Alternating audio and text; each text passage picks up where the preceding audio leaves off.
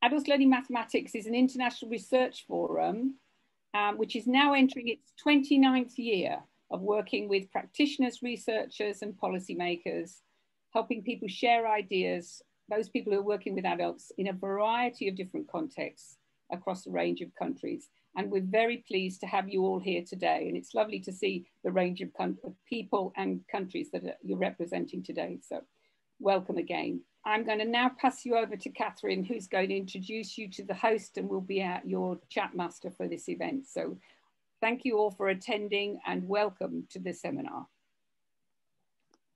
Hi, everybody. Uh, thank you, Beth, for that.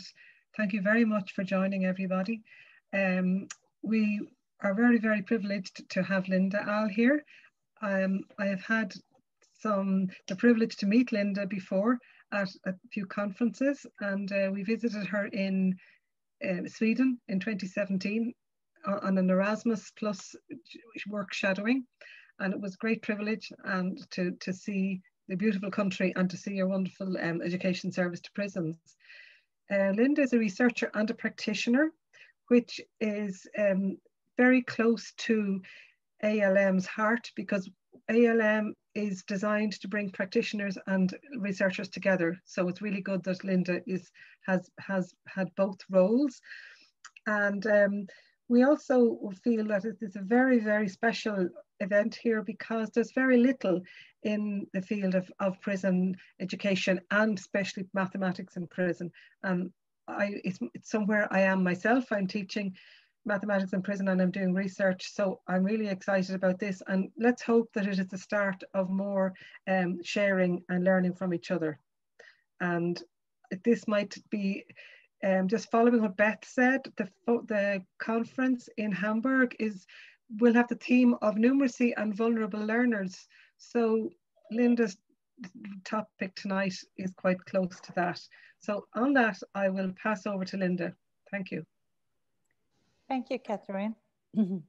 Thank you, everyone who's um, joined us to hear me speak about something that's uh, really close to my heart, and that's uh, individualized mathematics instruction for adults in the prison education context. You see a picture here on uh, the mathematical bridge in Cambridge from the days where we could meet on conferences, and I hope we can do that again soon, but maybe not this year. I don't know. So I'm written a thesis uh, about individualized mathematics instruction in, for adults in the prison education context. And this thesis, uh, it contains four studies and the four studies has resulted in a model for individualized mathematics instruction for adults. And I call the model MIMIA. This presentation will be quite brief because 20 minutes is not so long, but you can read the thesis if you're more interested or contact me later. But I will present uh, each study for you and then you can choose what you will discuss in the chat rooms later. All the questions in my thesis, they are problem driven. Um, from my experience of teaching, I have learned that we have special challenges when teaching adults.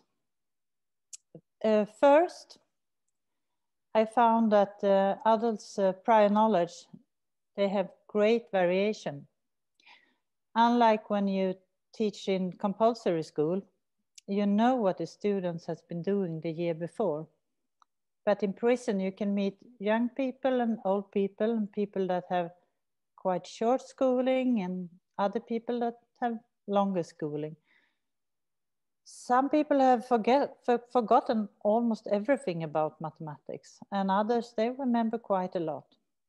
But this is very difficult because it can be a mismatch in expectations when you start on a new, new course. In Sweden, we follow syllabuses uh, that are similar to the courses that are given in upper secondary school. So you are expected to have the, the, the correct prior knowledge to, to enroll a course when you are assigned to it. But that is not, often it's not the case. And um, you have to deal with this as a teacher. So that was my first um, question. How do you um, gain information about students' prior knowledge without um, tedious testing that will um, maybe break their motivation? That leads me to motivation. Mm, I found that um, adults, they have very different motiva motivation to enroll in mathematics education. And this kind of different motivation it, um, is something that I have to address in my teaching because what kind of motivation you have will give you different opportunities to follow the course. And third, I found out that uh, uh, feedback, giving feedback to adults were more difficult than giving feedback to children. I have been teaching children as well, and they are they are very used to be. Um, they, they get feedback every day, and they they just accept it. But when you are adult, you you you might be more proud. You don't want to be bad at something. Uh, you, you want to be good and you want to get praise, but that's not the way to get forward. So that was also a difficult um, issue for me. And my students, we are in prison. So a lot of my students, they are tough guys, you know, they, they don't want to hear that they cannot calculate that the right way.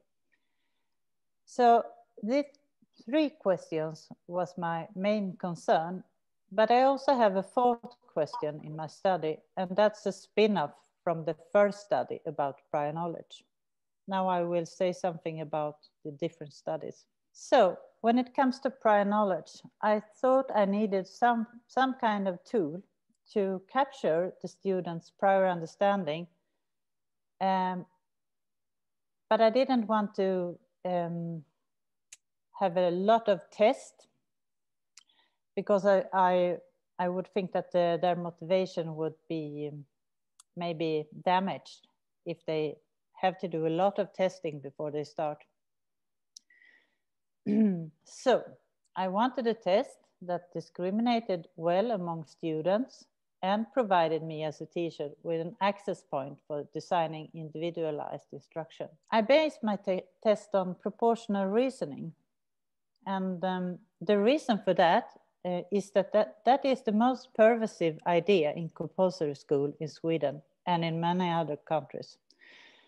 It is very, very well researched and I could use what is known from research about the development of proportional reasoning to con construct a test. And one important design choice for the test was to use a multiple choice test where you just mark your answers instead of instead of giving full solutions. That was because uh, an open response test can be a negative experience for students with low prior knowledge uh, since they may be unable to supply any answers at all. They can just um, fill in something so they don't need to feel that they haven't answered the questions if they just have to mark the answers. I wanted to avoid a negative experience. And the multiple choice test, uh, it was designed upon what we know about proportional reasoning so that the wrong answers clearly indicate uh, well-known misconceptions or specific incorrect strategies or solutions that we have seen earlier in research. Here you see an example from the test, and this uh, item is from an article by Hilton, Hilton, Dole, and Goos. I give you a minute to read it. So your task is to uh, decide if going to the beach is a relatively more particular choice with the year six students than the year five students. You just have to mark true or false when you have decided, and then you will choose one argument, A, B, C, or D, that supports your claim. So in this case, it's, um, of course, um, mm, claim D, that is the correct answer. And if you choose one of the others, I know from research what kind of misconception that may, may be the background for this. But I also uh, conduct a clinical interview with the students after the test. So they are given opportunities to explain the reasoning. And maybe sometimes they realize that they have marked the wrong answering alternative when we, as we speak. Uh, it, um, the results showed that the test worked in line with the stipulated design goals, namely that during a lim limited time, collect information on different topics and different levels. Uh, and the sh test showed to discriminate well among students. So uh, this information can be used to design individual instruction sequences in the prison education. So you can start where the students are instead of start on page one in the textbook. Let's move on. Rationals for learning. This is about motivation. There is a lot of motivational theories. I'm sure you all know about that. But I chose a theory from um, um, Stig Mellin Olson over the other motivational theories. My rationale for that, it, it is because his view on teaching and learning is that if the students stop learning, it is the educational design that has to change, not the student. He said that uh, to teach someone in the same manner, only more slowly and in smaller groups, it will not help. We cannot expect the students to adapt to ready-made teaching materials. Instead, if the teaching, it's the teaching that need to adapt to the student. And this was very, um, I like that idea very much because uh, I have the opportunity to do that in the prison education program because I have a lot of time and, and quite few students. And all my students, they have quite bad experiences from schooling. Because if, um, if you have had a good mathematics uh, experience from ordinary school, you don't have to study mathematics in prison. It's for those that don't have um, an upper secondary diploma uh, or maybe they haven't even um, conducted um, uh, they, they didn't get a passing grade from um, compulsory school so they remember mathematics with a bit of uh, horror many times they are they are afraid for mathematics so i use this uh, rationals for learning from Mellin-Olsen and he um, talks about the I rational and that's the instrumental rational that represent the reproduction of um, labor. And uh, also that you need mathematics uh, to get on in the schooling system. Mathematics is a gatekeeper for higher education. So many students, they, they are very motivated to get a grade in mathematics. They have a strong I rational, but they are not very interested in mathematics as a subject um, especially since it didn't went very well the last time they studied. The social uh, rational, the S rational, on, on the other hand, it, it's about joy and uh, um, a picture of yourself as someone that likes mathematics and that can cope with mathematics and that has family and friends that thinks mathematics is important. And if you enjoy mathematics, um, then I have learned that you can you can give uh, students that like mathematics a uh, lot more challenges because they can handle they can handle the challenge. They like to struggle. Students with an I rational, a strong I rational and a weak S rational, and they tend to give up if the challenges get too hard. So that is why it's very important for me to separate between these different rationals. They will both be present in all teaching, but if, if you notice that uh, a student um, stops believe that he can cope with mathematics, then, then we say that the I rational breaks down. And if he at the same time has a weak S rational, then it's, uh, he's likely to quit. So Stig Mellin-Olsen said that um, uh, uh, if the, the student stops learning because both the I and the S rational has ceased to function, then teaching must uh, build on rebuilding the S rational so we can get the student work again. So when you ask a student if he's motivated for mathematics, uh, two different students can say yes with a strong emphasis, but they, can, they may be different kinds of motivation. And for me, it's been really fruitful to separate these uh, kinds of motivations so that I can give students that begins to lose faith, uh, easy tasks and more enjoyable tasks. We tried to categorize a student a case uh, with the I rational and we saw how it changed during the course. And it's quite easy for teachers to use these uh, educational concepts to think about the students. So it's like a thinking tool to check that your students are on the track. Um, you can read about this study in the thesis, of course. Uh, but I will move on. I could talk for hours, I think, but I try to be quick with every study. then we had this feedback. I, I guess uh, most of you, you know the feeling when you receive a very critical review, right? It doesn't feel very good. Uh, well, it is the same for our students. uh, I have a case in this case as well. Um, and he was um, he had a, a, impulse control disorder so he was a bit uh, more explicit than my other students and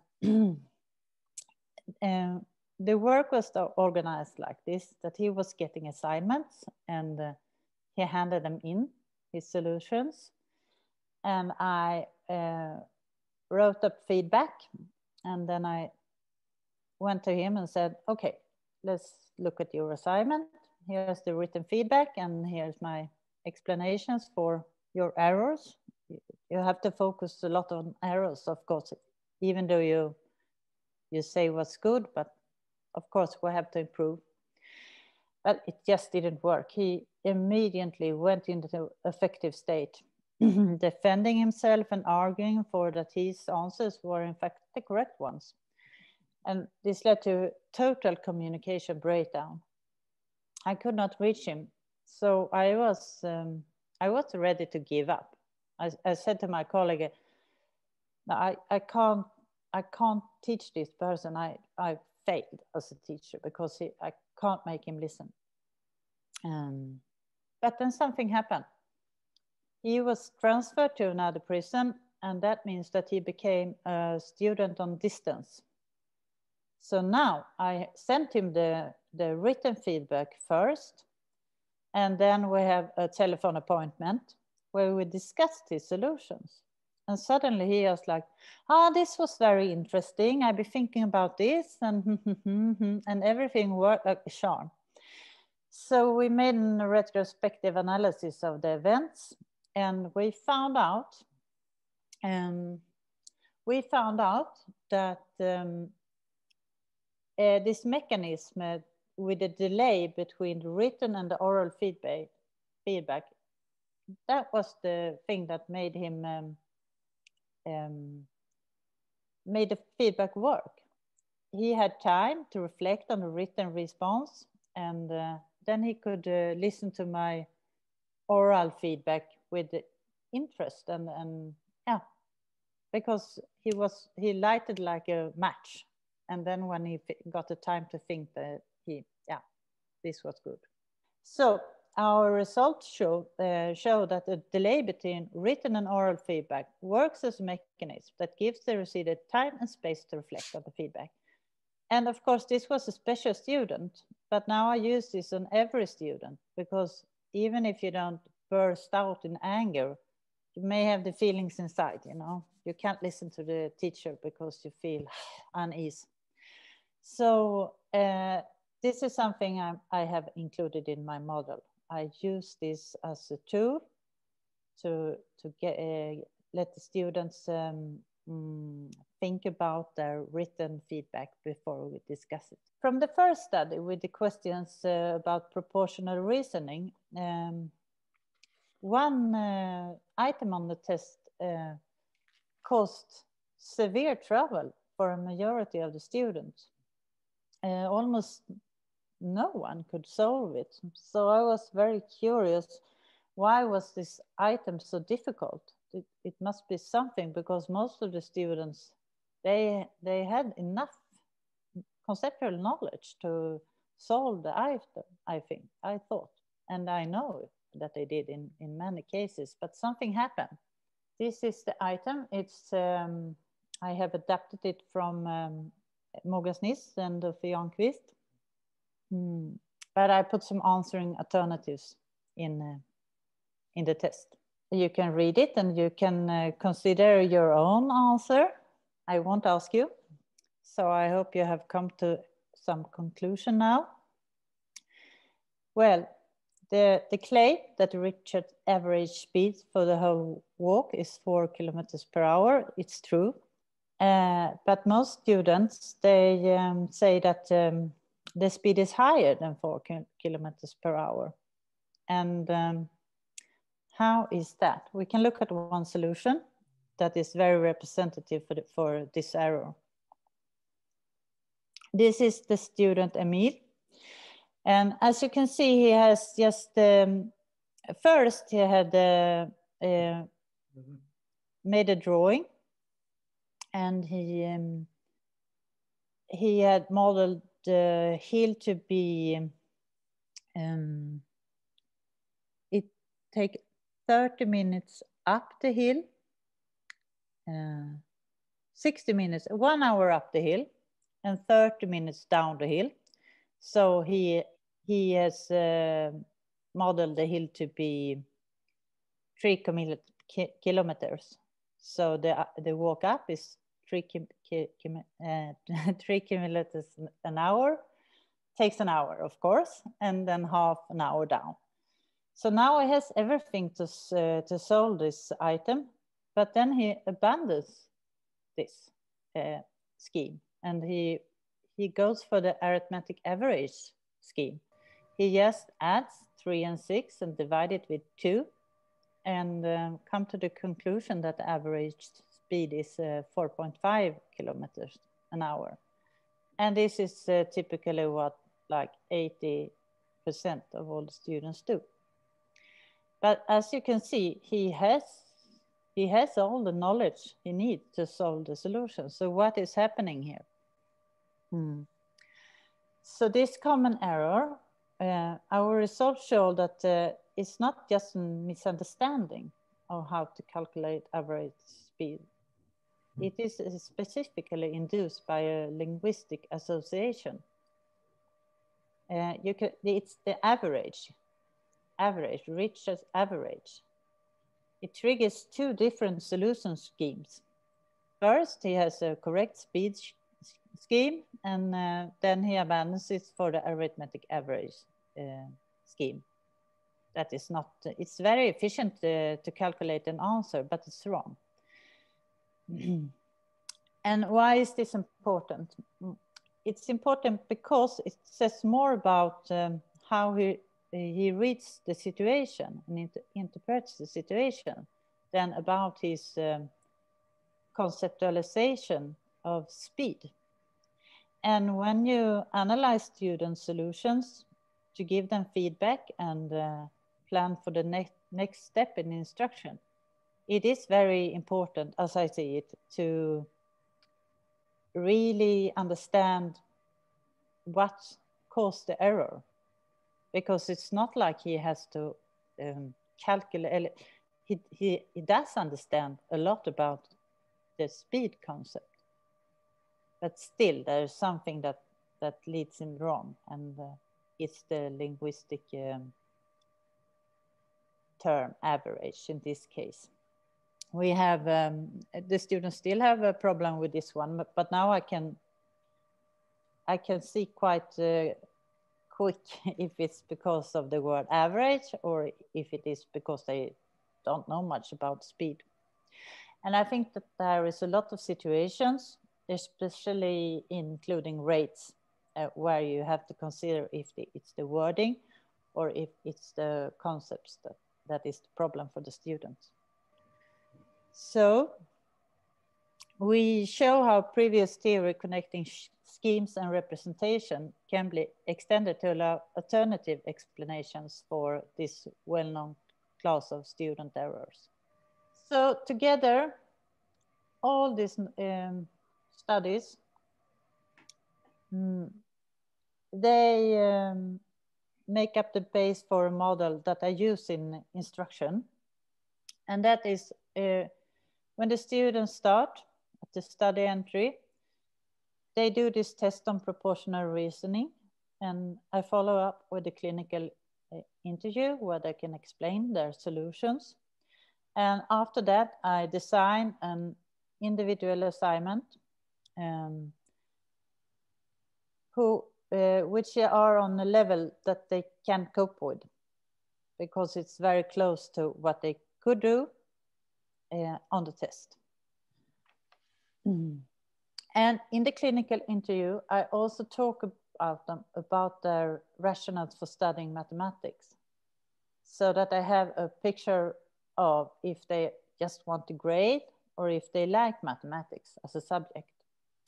If they don't like mathematics at all, I am very careful not to give them too hard assignments because if they lose faith, it's, they are not hardly to come out on the other end with a passing grade. And the rationale, it will change over time, hopefully to the, to I, I strive to improve the S rational uh, during the course, that they can feel the um, joy and the beauty of mathematics. And I, um, I follow their, how the rationals change during the course.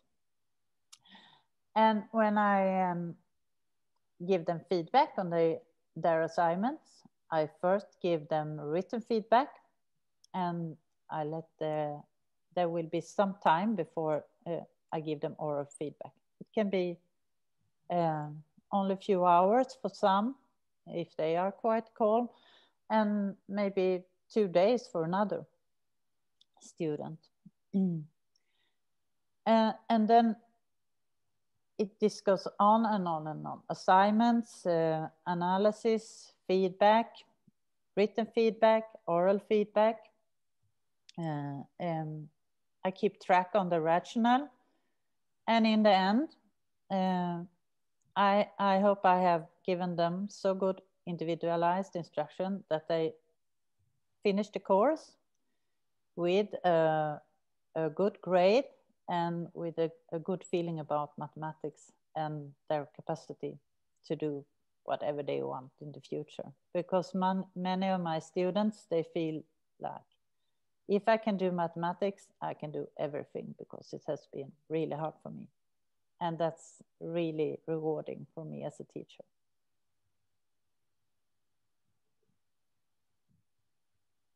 So that was what I was going to say. And I want to thank you for your attention. But I think that although my studies has been done in the prison education context, I wonder if uh, you who listens today have the same similar experiences for your uh, teaching adults practice. Because I think that you can use uh, the whole model or uh, parts of the model in, in all kinds of individual, individualized instruction of adults. And I would like to hear you reflect on that. And of course, this was a very brief presentation and as you can hear, I'm not a native English speaker, but I hope you understood me good. it's been a while because there are no conferences now. Uh, but uh, yes, I'm really um, interested in, in, hearing your uh, um, reflections on this uh, in, in, comparison to your own, own teaching practice. Thank you.